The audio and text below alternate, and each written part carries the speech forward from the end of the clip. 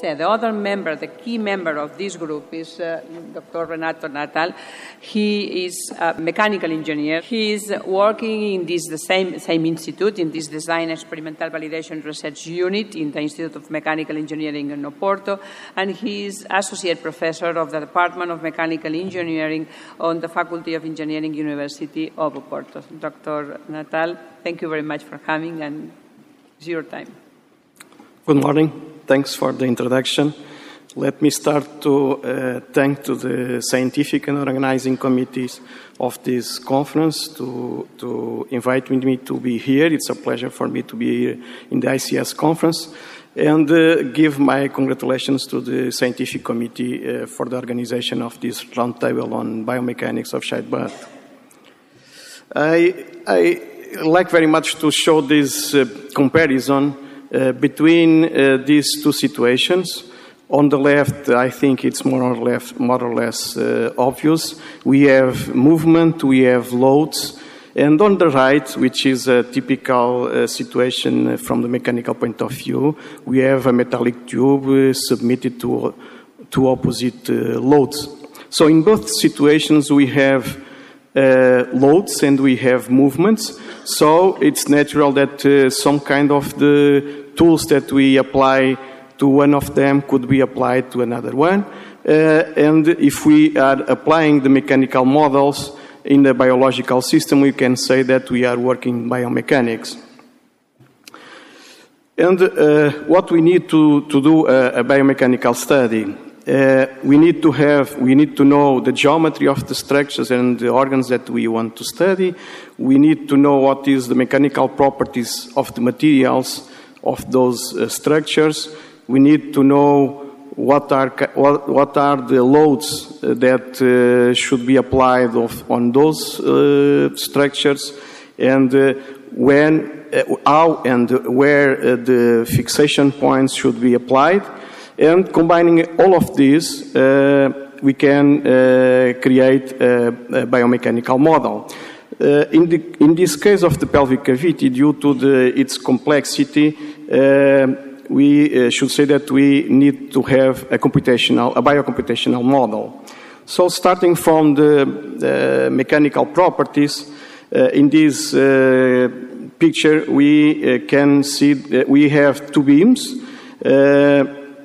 with the same geometry and submitted to the same load.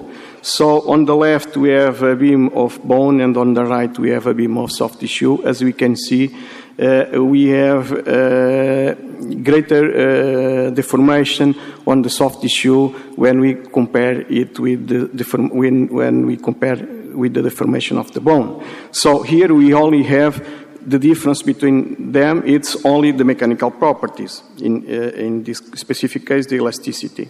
So to, to establish the mechanical properties of the, the soft tissues, we need to get a set of uh, specimens. After that, we need to uh, apply a set of loads on those specimens. Uh, here in this example, we are uh, uh, using a, a uniaxial tension test, and in the final, we have a graph like this one. With the curve. This is a typical curve for soft tissues.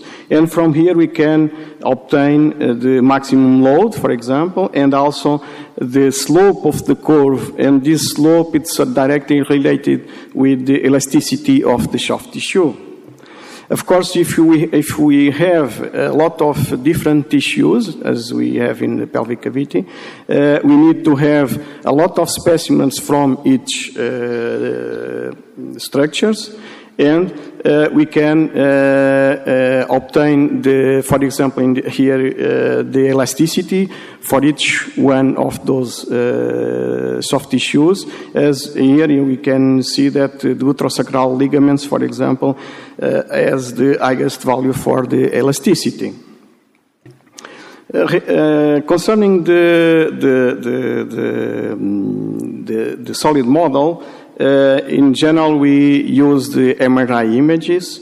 Uh, for that, uh, we need to, uh, in each slice, we need to identify the structure that you want to analyze and establish its uh, contour. And uh, in the final, we have uh, a 3D uh, solid uh, model. Of course, uh, if we have different structures, we need to obtain the different uh, solid models for each one. And after that, we can obtain a biomechanical model like this one.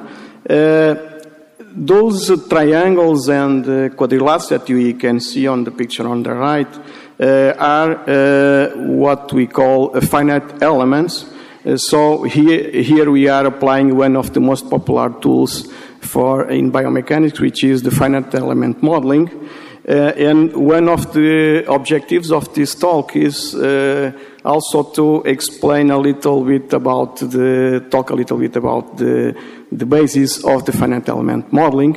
So if we uh, want to analyze the biomechanical behavior of this ligament, uh, we can consider it as one finite element uh, in with one uh, dimension uh, direction. Uh, we can call the, its ends with I and J, and of course, if we have a deformation of that ligament, uh, which corresponds, for example, for a valsalva maneuver, its length increases, and knowing, if we know the displacements of its ends uh, in the points I and J, the question is, and what is the displacement in the middle of the ligament, or uh, what is the displacement at any point of the ligament? We can assume, on, as we can see on the left, we can assume, for, to start, uh, a function for u uh, as a, a, linear function, ax plus b, and of course, we don't know at this moment A and B, but uh, knowing the displacement of the, its ends, we can establish uh, a final equation, a final expression for U as a function of the length, L, and as a function of the displacement of uh, its uh, ends. So, uh, having the displacement, displacement function uh, in order to calculate the displacement any, at any point of the ligament, we can obtain the deformation, which is a, derivative of the first uh, equation. And also, if we assume uh, a, a, linear relationship between the stress and the deformation, E is the elastic modulus, we can obtain the stress, and in the final, we can obtain the, the, the stiffness. And with this uh, kind of uh, model, we can simulate a lot of things. In this example, I'm showing uh, the, what is uh, the influence of the weakness of the ligaments when we are trying to analyze the bladder neck displacement, the bladder neck movement. Uh, however, if we have a more complex structure like the pelvic floor muscle, Okay, we need a more complex finite element like this one, this hexaed. Uh, in this case, we need to know the displacement on the corners of the hexaed, and we can do the same question: what is the displacement at any point of the element? Uh, of course, we we can apply the same procedure. Of course, in this case, we uh, will be uh, we'll, we will have a, a more complicated uh, uh, equation. Talking now about the, the new developments, uh, I think uh, we need to, to have into, we, we need to take into account the influence of the flexibility of the fetus head, because in our uh, the, uh, in our previous uh, simulations we are uh, assuming that the the, hair, the fetus head is rigid, which is not the real case, of course. Uh, we are now trying also to obtain, the, to study the biomechanics of the uterus, and to start, we, we start with a simple uh, shape, which is a cylinder, and uh, the idea is that the cylinder should uh, push the, the, that ball, and that ball represents in this case the, the fetus head. So we are trying uh, now to, to, to, do, to, to do that, to obtain the, the results. Of course, we need, in this case, it's very important to know the right uh, directions of the, the fibers on the uterus because this, is, uh, this can have a lot of influence on the final results. And we, this is uh, one of the variables of our uh, model, mathematical model.